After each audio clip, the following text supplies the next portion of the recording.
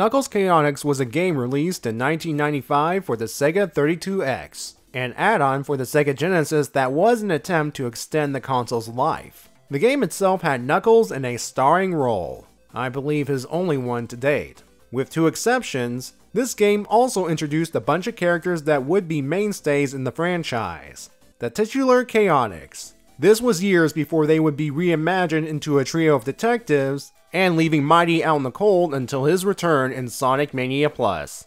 Yeah, I know, one's modern, the other's classic, but who cares? But we're not here to talk about the game. Today we are talking about the 48 page adaptation by Archie Comics. Like previous comic retellings of the games, it'll be an adaptation in the loosest sense while trying to fit it within the Archie Sonic continuity. If you want to know, this special takes place between issues 30 and 31 of the main book. Without further ado, it's time to see how this story deviates from the game it's adapting.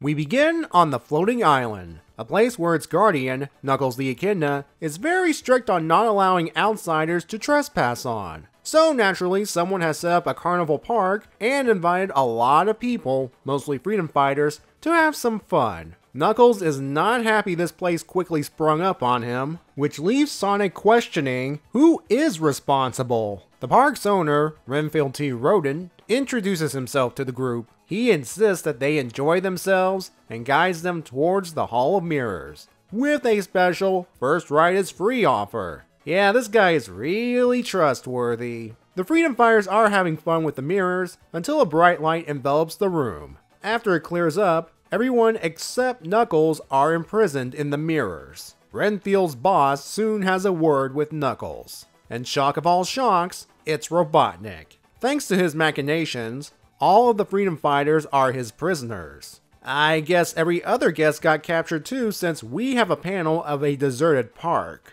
As Knuckles points out, he's still free. However, he's also been affected by that energy light. Specifically, he's been depowered. You can tell by his shortened locks and his missing hand spikes. Robotnik could have trapped Knuckles with the others, but he wants witnesses for his ultimate triumph. Boy, that's a classic villain blunder right there. Knuckles flees the park and ponders his next move when something zips past him. A bee named Charmy that was too busy gathering pollen to visit the park. Then all of a sudden, a chameleon named Espio appears in front of them. He's been eavesdropping for a bit. Before Knuckles and Charmy can process this, the three hear a loud noise coming towards them. It's Vector the Crocodile, jamming on his tunes. Then right after his appearance, a different loud rumbling occurs. Punching his way out of the mountainside is Mighty the Armadillo, and he's brought company that he'd like the others to meet. Two robots named Heavy and Bomb. The latter only speaks in pings. The robots were originally built by Robotnik to seek out and repair damaged systems automatically. They were also built with power gems to give them independent thought. This backfired on Robotnik as the robots gained free will and a conscience. When they overheard Robotnik's Funhouse mirror plan, they decided it was time to bail. They didn't leave empty handed. Inside the mighty constructed cave, Heavy and Bomb reveal a chest they took from Robotnik, full of power gems. In addition to powering the robots, they were used in the mirror's constructions, as well as other experimental weapons. Now, this newly formed group will use them against Robotnik. Inside the park, Robotnik and Renfield are celebrating their victory when they notice all of the park's rides turning on simultaneously. They figured out it's Knuckles, and he's brought some help. Realizing he should have dealt with Knuckles when he had the chance, Robotnik makes up for it by teleporting in some help from Robotropolis. Metal Sonic, the same one that raced Sonic in issue 25, having since been repaired and upgraded. I know the comic once again refers to him as Mecha Sonic, but for simplicity's sake, I'll refer to him as Metal Sonic. He engages Knuckles' group while en route to the Hall of Mirrors. Each member takes a turn at the machine, showing off their particular skills in the process. Because Knuckles has no powers at the moment, he teams up with Vector to attack Metal Sonic using sling rings. I assume they're part of the experimental weapons that require the power gems. They tricked Metal into latching onto Knuckles' end, and Vector forces him straight into Mighty's punch. For the final touch, Bomb blows up the robot. Not to worry, Bomb can reassemble himself, presumably a power gem benefit. Unfortunately for the heroes, Metal Sonic also has a power gem and uses it to grow into a giant red monstrosity. Knuckles uses another power gem to grow giant size and engage Metal Sonic. The fight takes them to the Hall of Mirrors, which they obliterate. As a result, the Freedom Fighters are free and Knuckles gets his powers back. Which means, bye bye Metal Sonic. Although, like I said, Metal Sonic has a power gem of his own. Is it possible he could use it to rebuild himself later on? Nah, couldn't happen. Or could it? The Freedom Fighter mob chases down Robotnik and Renfield. The former makes it to an escape rocket, leaving the other to be trapped like the rat that he is. Courtesy of Espio. Renfield is then hauled away by the police. Two things about that. First, they look like they were on loan from the Muppets, and second, we're still on the floating island. A police force indicates the presence of a city or town, and there's no such place. At least, at this point in time. Wouldn't it make sense for the Freedom Fighters to apprehend the rat? Anyway, Sonic praises Knuckles. Since Penders worked on this story and the next two, I'm not surprised. Sonic goes on to say that Knuckles and his new friends have the makings of their own team. While they deny it, there's no doubt that we haven't seen the last of Knuckles' team, the Chaotix. In fact, we'll see more of them right away, except for Heavy and Bomb. Like previous specials, there are some backup stories, and this time they feature the Chaotix. The first story has the Chaotix playing a game of tag, whether they want to or not. At the very least, they do go along with it if declared it. During Espio's turn, he trips and falls in front of an ant in silhouette. He's never seen the ant before, and if the ant wasn't concentrating on something else, Espio would never have seen him. And then the ant just vanishes. Yeah, that's basically it for the story. The second and last story has Knuckles coming to the Chaotix for help because the island is under attack. Mighty believes it's Robotnik's doing, but Knuckles doesn't think so. As he begins to explain his dealings with the mysterious Archimedes, Vector falls into a pit trap. Before they can find something to pull him out, Knuckles, Mighty, and Charmy are bombarded from afar. The blasts knock Charmy for a loop, and he lands in the bushes. They may be down a member, but they soon gain another when Espio appears. Knuckles claims he's been following them since the bombardment. Since when can Knuckles see Espio while invisible? Whatever. Knuckles wants them to leave Charmy behind so they can find out who's attacking the island. Suddenly, a robot appears and attacks Mighty. Knuckles doesn't want to help out with this one and insists that he and Espio keep going. Mighty and the robot eventually fight each other into a draw. With Knuckles focused on catching the culprit, he fails to notice another robot kidnapping Espio. After Knuckles sees that he's alone, a mysterious voice, presumably from Archimedes, tells Knuckles that he's been focusing on his task rather than helping his friends. And the story and special end with the voice asking Knuckles, which is more important, the floating island or the Chaotix? The purpose of the two backup stories is to advance the ongoing Archimedes subplot, which began in the Sonic and Knuckles special and continued in the Sonic Triple Trouble special. Hmm, both of them game adaptations. Coincidence? You decide. And I mean it when I say both backup stories here further things along because, in the first one, to give something away now, the ant Espio encounters is actually Archimedes. It is not a coincidence that he just happens to be around while the Chaotix are playing tag. He's gathering intel on them so he can make his move in the next story. All to teach Knuckles a lesson on duty versus friendship. So far, Knuckles is all about duty to the island. Up until this special, he's never had friends to help out with his problems. Rivals, sure, but not friends. And that's why I don't mind him being a jerk as he leaves the Chaotix behind one by one. Also, unlike the first story which I'll get to shortly, Knuckles has his abilities, but as Archimedes demonstrates, that alone may not be enough.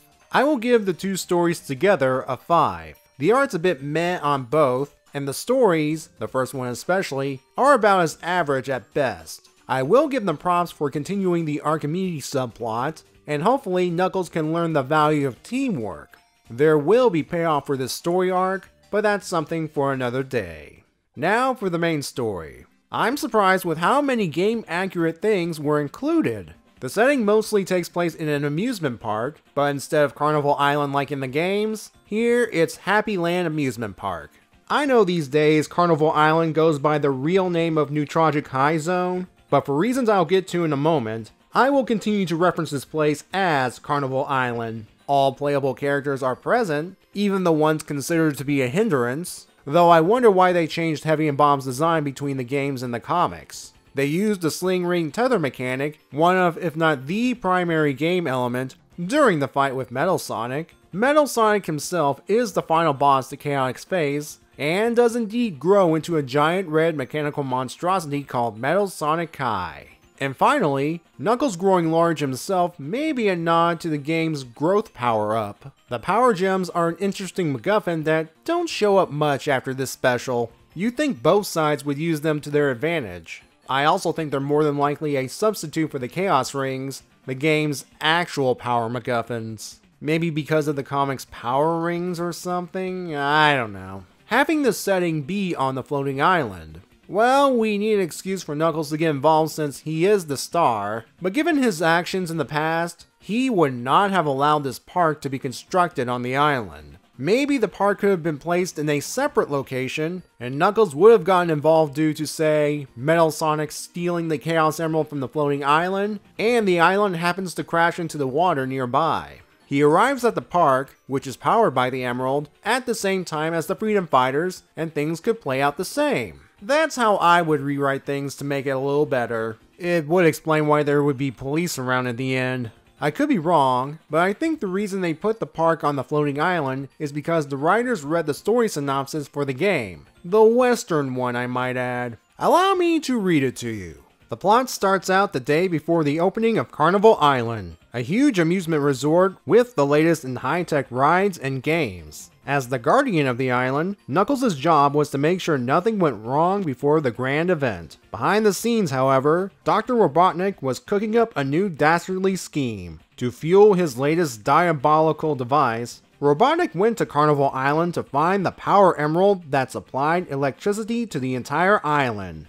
a tool which would fit into his plan perfectly. To further ensure that Knuckles and his friends would not interfere with his plans, Robotnik used his Combi Catcher to freeze Mighty the Armadillo, Espio the Chameleon, Vector the Crocodile, and Charmy Bee in time. When Knuckles returned from patrolling the far end of the island, he found Robotnik as he was imprisoning Espio the Chameleon in a Combi Catcher scaring the villain off, and rescuing Espio. After that, Knuckles discovered that he could rescue his other friends one at a time using Ring Power, a power that holds two partners together like a magical rubber band. Never held back for long, Knuckles set out with his team to save Carnival Island from Robotnik before the grand opening.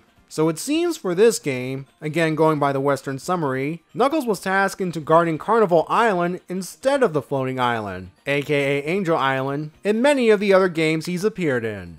I can see why they combined the two locations. And I just realized something. The power gems I mentioned earlier, they might actually be a shout out to the power emerald I just mentioned in the Western synopsis. For the plot itself, it's straightforward, albeit rushed in certain places namely the part where all the Chaotix just happen to appear in rapid succession. It's like, quick, introduce this character, then this character, and so forth. Yeah, before this story, they were all practically strangers to one another. And look how quickly they agreed to help Knuckles with his situation. Yes, I know it's a comic for a younger audience, and we need to get a move on.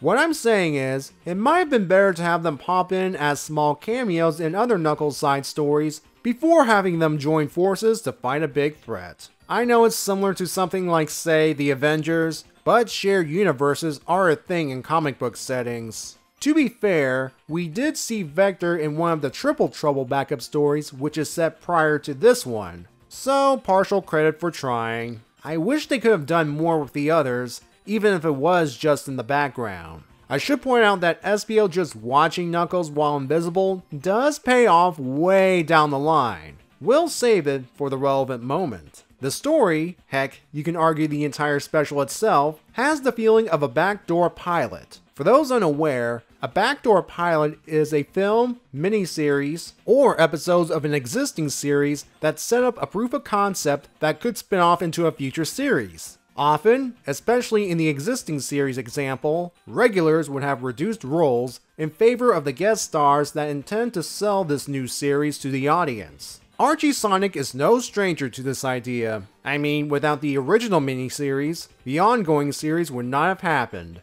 I feel the concept really applies here as the story has the Knothole Freedom Fighters out of commission for most of it, and has Knuckles reduced to a powerless state which is why he had to team up with the new characters, who each have a special skill set, to help save the day. The Chaotix, minus Heavy and Bomb, would go on to serve as Knuckles' Freedom Fighter team in his stories. Heavy and Bomb would appear in another team down the line, but once more, it's something for another time. The story gets a 7 thanks to a surprise amount of game references and decent looking art. The dialogue's a bit dated, especially with all the pop culture references sprinkled here and there. I mean, look at this. Eesh. And the story itself is simplistic and straightforward. Hey, I'd rather have a simple story rather than playing levels multiple times to finish them, while at the same time being picked at random. That's one of the weaknesses of the game in my opinion. Repetitiveness combined with randomness. Anyway, thank you for joining me for this game adaptation, and I'll see you next time.